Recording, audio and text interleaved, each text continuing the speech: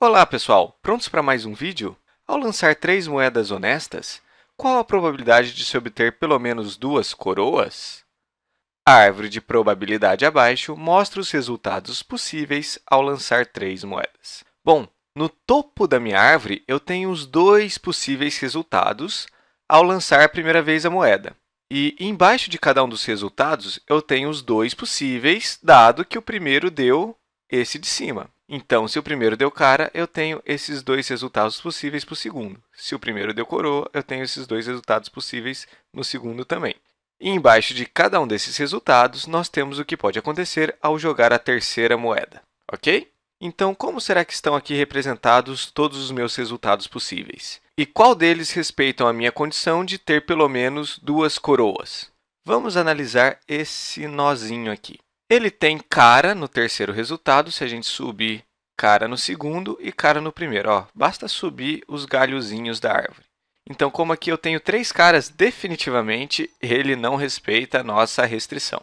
Já este nó ou folha aqui ó, tem cara, cara, coroa. Então, só tem uma coroa. Então, também não condiz com a nossa restrição. Vamos olhar esse aqui. Esse aqui tem cara, coroa, cara.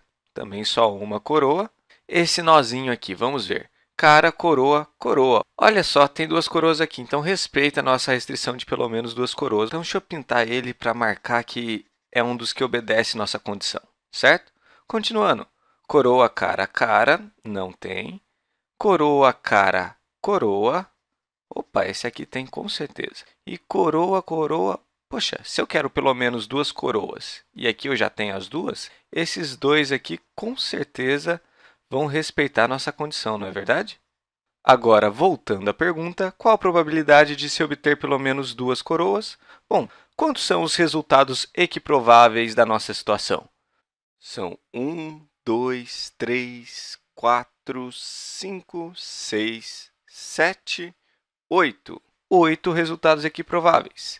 E desses resultados, quantos são favoráveis à minha condição? Favoráveis para mim são 1, 2, 3, 4.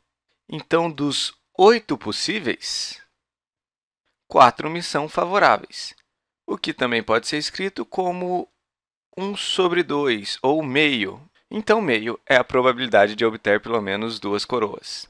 Ok, pessoal? Até o próximo vídeo!